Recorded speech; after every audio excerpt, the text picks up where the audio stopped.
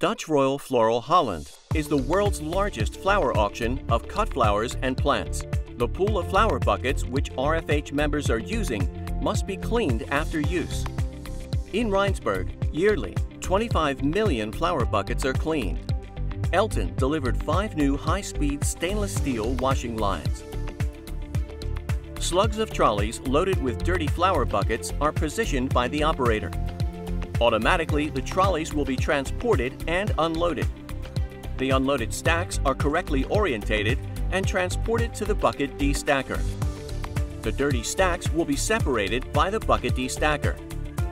To loosen dirt, buckets will be turned in the C-turner and the turned buckets will be transported into the industrial washer.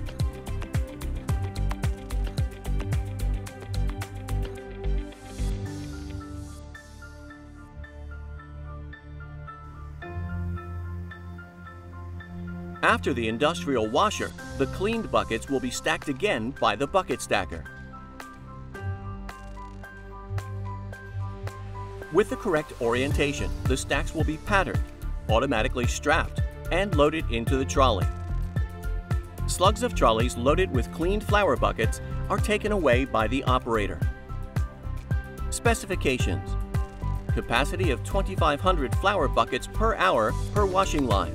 Per washing line, the 10 different types of flower buckets can be handled. Different stacking patterns per type of flower bucket. Automatic trolley unloader. Automatic trolley loader. Use of energy saving drive solution. Data available via web API. Safety measurements are included.